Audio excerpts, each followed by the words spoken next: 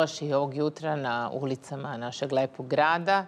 Kakve nam priče donosi? Dobro jutro. On je unutra, u restoranu nekom. Sa ulice otišao u restoran. Tako je, Penelopice moja. Milomire, sad sam svratio malo sa ulica. Moramo im, imamo dušicu da se malo ugrejemo, da se okrepemo, okrepimo tu kod dvoglavog orla i da čujemo stare, lepe priče, ali i da čujemo od gospodina Miša Rogana kako će se to poštovati oni, svi oni koji su dali život za ovu zemlju. Dobro jutro, gospodine. Dobro jutro, Happy Televizija.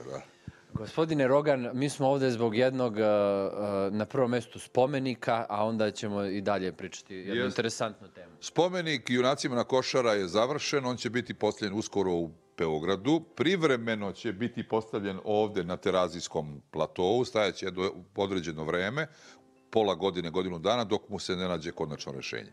On je završen ili će moći da ga vide, a kad se nađe konačno rešenje, verovatno na bulevaru Košara preko puta gdje će biti autobuska stanica, bit će posljedan generalno. A ko spomenik pravi? Spomenik je bio u inicijativi Srpskog telegrafa, mene, Nebojše Ostojića, i ljudi, ratnika koji su skupljali novac da mi taj spomenik napravimo. I uspeli smo da skupimo pare za livenje i za ostale stvari, tako da smo uspeli da ga napravimo i on će uskoro biti ovaj, vidljiv. A pre nego što pređemo na mač, kakav je osjećaj kada ste inicijator da se uradi takav jedan spomenik i takvim junacima? Pa, to je jedna nesvakidašnjost. Oduševiti se ljudima, prvo ih upoznati. Oni su konstantno dolazili dok smo radili spomenik. Uživao sam, to su junaci, vjerojatno će pisati školske knjige o tome, a i knjige o svemu tome, treba prođe neko određeno vreme. Oni su jedni nesvakidašnji ljudi i fantastično je bio društvo. Oni su ostavili čak otisak prsta u, u skulpturi, uh, njih jedno desetak. Tako da, ono, pođete jezate, prođe, odmah krenem da vadi mač što se toga tiče. Ajde, kad smo kod mača, i, uh, to je, ovo je replika, ajde, rec, recite vi nešto. Ovo smo uspeli da napravimo jedan restoran uh, Terazije 34. Ovaj, restoran je inspirisan srednjovekovnom varijantom. I ovaj kompletna priča. Znači, iz, iz te priče ratnika smo se opet ušli u tu priču ratnika i uspeli smo da uradimo restoran u srednjevekovnom obličju. Tu su gore Nemanjićki i E, odlučili smo napravimo jedan e, mač, odnosno repliku Dušanovog, Dušana, Dušana cara. Prvo je bio kralj, pa je Dušan bio car. Ako mi još malo gurneš taj mikrofon usta, mogu da ga progutam. Zezam se, samo da. Znači, mač je replika Dušanovoga mača. On je urađen po, uh, po priči je urađen sa kineskim, odnosno japanskim čelikom. Kovan je u Kotoru ili u Prizrenu. Još se ne zna. I ja sam ga napravio u obliku replike koliko sam mogao da ga vidim i da ga doživim. To je mač. I on stoji ovde na zidu, ko hoće dođe da ga vidi, on može da dođe na ručak kod nas, kod dvoglavog orla. E sad ovde ne znam da li tamo imaš Obilićev, Obilićev oklop, imaš onda inicijativu za dvoglavog orla koji je tokom istorije menjao svoju simboliku i menjao svoju priču. Ovde imaš uh, ova repliku iz Dubrovnika Dušanove zastave, odnosno srpske zastave, a gore na zidu piše, odnosno ta četiri ocila, koja znače car careva, caruje carevima.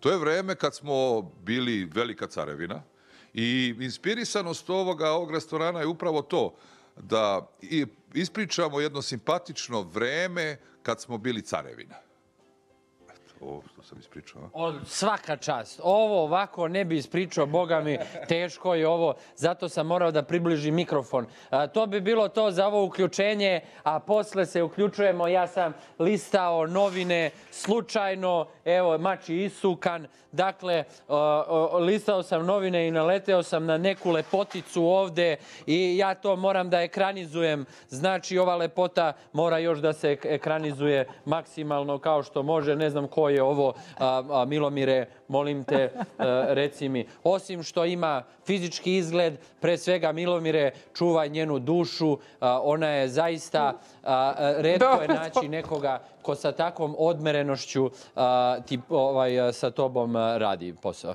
Studio. To je nada sve teško. Hvala najlepše, Marko. E, nastavljamo jutarnji program. Bata Jugović, pokret socijalista, gost e, jutarnjeg programa. Što bi rekao Marić, kakva je situacija na terenu? Evo, evo, Bato. Na terenu mi, mi mi znamo... se zaljubio u tebe. Ovaj, vidite, Jo, pogledajte, ljudi. Evo, molim vas, vidite ovo. Vidite, kakva Izreklamirali smo politiku TV danas kao Pa nikad. nije, a I da iskoristim priliku, pošto nisam gostovao neko duže vreme, da osudim postupak Jelene Milić prema tebi. Imaš našu podršku nas, ovaj, gledalaca, vernih gledalaca Happy televizije i Hvala, vašeg jutarnjeg programa. Samo to da kažem, čisto ovako... Ovaj, Hvala se dešava na terenu? Mi znamo Hvala. ove afere koje su u Beogradu. Kako se sve to prelama na terenu? Evo, u Dragačevu su, u Dragačevu su izbori u decembru i već se kuva. Nekad je uz- na terenu uzbudljivije nego u Beogradu, u Skupštini, u vladi. E, Evo, Uve- pa ne, evo recimo, tebi tvrdiš da ti je neki čovek E da, e, Tražio tražio 10.000 evra da ga staviš na listu SNS-a. A sad je na listi opozicije. Tako je. Nosilac liste Tako opozicije, Tako on je tražio 10.000 da ga ti staviš. Tako je. Ja sam se našao sa njim u e, kafe, kafe, kafe, e, u gostijskom objektu Proleće u Čačku i on je ovaj, godinama, on je bio u dverima, na, na toj, u toj odborničkoj grupi dveri, ali je poslednjih godina glasao za budžet opštine Lučani, što govori da podržava vlast. I razgovarali smo o tome da je, ovaj, pristupi pokretu socijalista i on je rekao ovaj, da mu se, da, mi zavidi, ovako mi je rekao, citiram, da mi zavidi e, što sam godinama bio blizak saradnik hrabrom čoveku kakav je Aleksandar Vulin i da on e, smatra da od Aleksandra Vučića ne postoji bolji političar na političkoj sceni Republike Srbije. Ali Tim da- rečima, evo citiram šta mi je ali rekao. da- ali da mu se ali, da ali, 10.000 ali bi evra. on, tra, on, on, je- on to mislio da se to kod nas nešto sad plaća. Jer on je to rekao i tražio čast. Tražio 10.000. 10.000 evra i nije samo to tražio.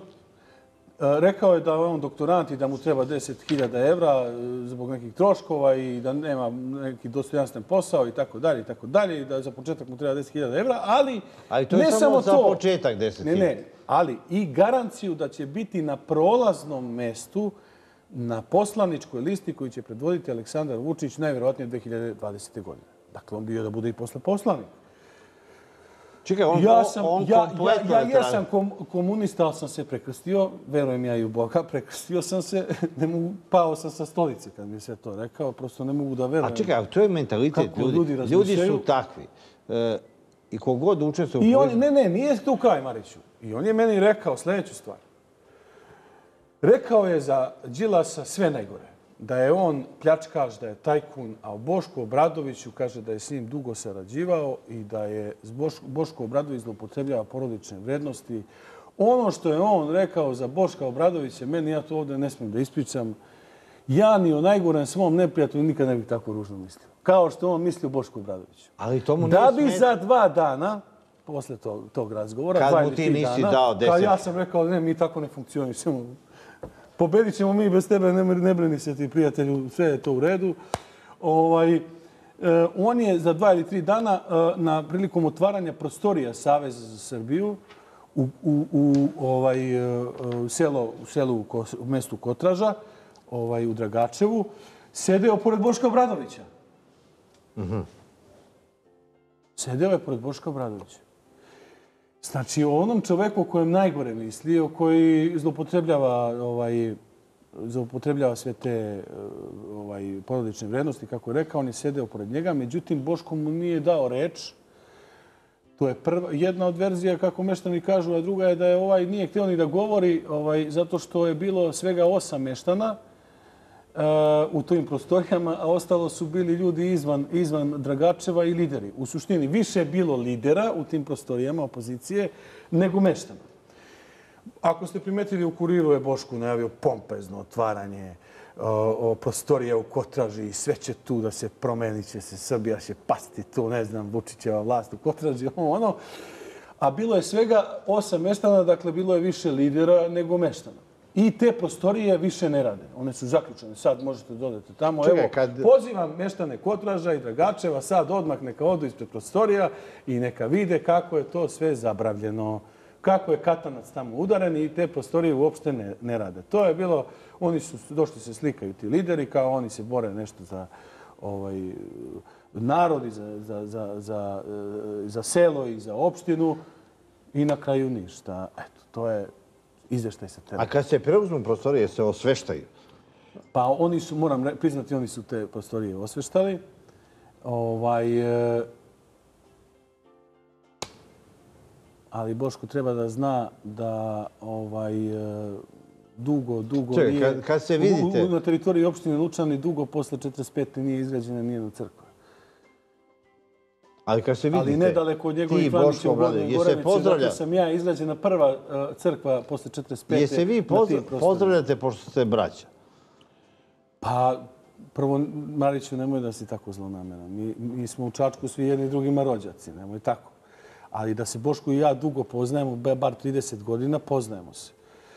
I Boško Obradović je neko ko je mene, evo sad kad već me vučeš za jezik, molio da ovaj, utičem da on bude Vučićev opozicionar, da Vučićev saigrač u opoziciji. Molio me to i mogu da pokažem mesto gde, smo se to, gde je on to od mene tražio i Aleksandar Vučić ga uopšte ne želi ni za kakvog saradnika, niti želi svog nekog uh, igrača u opoziciji. Omiljenog opozicionara. Da, ne želi ga i tako dalje. I onda je ovaj isfrustriran što, što, što ga Vučić neće uh, počeo uh, u, u, posle tog mog razgovora sa njim sve najgore da iznosi Aleksandru Vučiću i njegovoj porodici.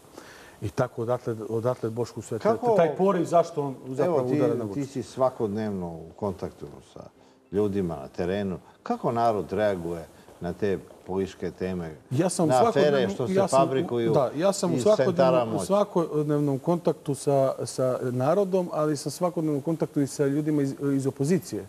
I oni su mnogi, kao novinar mislim, i oni su mnogi nezadovoljni savezom. Kažu da je to protivprirodni blud. Evo, konkretno u Dragačevu je jedan gospodin Parezanović, koji je bio poverenik dveri za Dragačevu, napustio dveri zato što su u savezu sa Đilasom. Dakle, to je, ovaj, nezadovoljni su i njihovi, a narod ih tek ne voli. Narod je za Vučića, to istraživanje govore, tu nema šta da se kaže posebno. Mislim, nije narod za Srpsku naprednu stranku, narod je za Aleksandra Vučića. Srpska napredna stranka je nešto drugo. Ona bi se raspala da nema Aleksandra Vučića i tu ima veoma spornih kadrova. Konkretno, taj Savez za Srbiju će jako loše proći u opštini Lučani zato što tamo postoje dobri kadrovi i tamo e, opštinska vlast je dobra, to se i govori po rezultatima. u mnogim mjestima se živi. karijeristi Ali- ali u- nude, ali- ali- oni su u- promenili u sve stranke. Požegi, u Komšijskoj Požegi je katastrofalna vlast i zbog toga neka opozicija će dobiti neke glasove. Ali mnogi karijeristi u unutrašnjosti menjaju stranke, preletače. Evo sad se najavljuje da će da se ograniči e, preletačima da menjaju stranke i i koliko stranaka mogu da promene godišnje, dvogodišnje. Pa, Ima, ima, ima da- kandidata da- koji su bili u svih Da stranaka. definišemo šta su preletači. Preletači nisu samo oni koji prelaze iz stranke u stranku. Preletači su oni koji iz partije opozicije, odnosno iz partije koja je pala sa vlasti, idu u partiju koja dolazi na vlast. A ima ljudi koji su uvek I u sad imate vladajućoj u strani. Srpskoj, tako je, i sad vi imate u Srpskoj naprednoj stranci ljude koji već sebi pokušavaju da kupe ulaznicu kod Đilasa, kod Jeremića, potajno malo finansiraju to, izneću ja jednog dana, lepog dana sva njihova imena i tako dalje, zato što oni žele da, ovaj, da, budu, da budu uvek na vlasti. Međutim, kako ova istraživanja izađu, vide da su da besmisleno investiraju. I dobro je Vučić rekao 2020. i 2028. je dan je godina kada on eventualno može da padne s vlasti. A možemo i tu analizu, ako se slažeš, Mariću, da uradimo zašto Vučić neće pasti do 2028. Dobro, on to rekao juče sam. A evo ja mogu da ovaj, sa terena ti kažem zašto će to biti tako. Prvo, da bi jedna vlast u Srbiji pala, ona mora da izgubi vlast u Beogradu. Znači, to najbolje... Da je preduslov. To je preduslov. Da bi jedna vlast pala u, u Srbiji, ona prvo mora da izgubi vlast I u onda Beogradu. putuje ta vest pa, u ta- putuje Srbiju jedno u 10 Srbiji. godina. Tako je. Bravo, Mariću. Znači, moraš da padneš u Beograd. Sad Pa ostalo- onda za 10 godina ćeš pasti i u Srbiji. Tako je. Baš tako. Eventualno osam u najboljem zašto, slučaju. evo recimo, živimo u modernom svetu telekomunikacija, zašto neka vest iz Beograda 10 godina treba da stigne do Guče ili do nekog bilo kog grada? E, pa prvo moraš da napraviš ta, ta neka vlast koja bi došla eventualno u Beograd, mora napraviti napravi rezultate, pa da oni onda po uzoru, evo mi smo napravili rezultate u Beogradu, radili smo to, to i to. Pa onda evo, to ćemo isto tako napraviti rezultate u vašim gradovima kad, kad ovaj dođete. Da, da, još sam jednu stvar rekao. E, nisam ti precizno rekao. Da padne vlast u Beogradu i u Čačku. A u Čačku, evo ja sam iz Čačka, a, ovaj, da bi pala vlast mora Boško Obradović da pobedi. A Boško Obradović sa Savjezom za Srbiju ne može da pobedi zato što opozicioni birači će glasati uglednog advokata Ivana Ćalovića, koji će da oformi uh, grupu građana i koji zaista uživa reputaciju među građanima. Ali teško I to da je pobedi zbog kojeg je Boško Obradović otišao u Savez za Srbiju. Zato što će da, uh, uh, narodski rečeno, ljosne u svom gradu, pa onda se ukači u neki voz, ne bi li po- preživio i ušao u parlament Republike Srbije. Hvala. Da li je Velja Ilić se uključio u, u Savez? Velja Ilić je Evo, politič, u političkom smislu leš i ja ne želim da šutim nemoj, leš. nemoj, nemoj, nemoj da sahranjuješ Dakle, ovdje preko televizije. on, on to jeste, ja sam, ja sam se lično trudio da tako i bude. Sad kad je već politički mrtav, ja neću da govorim Nemoj, o nemoj, političkom nemoj, nemoj. mrtvacu ništa. Nećemo da Prosto sahranjujemo. je to tako. Hvala. Hvala. Da vidimo kako nas vreme očekuje u toku dana.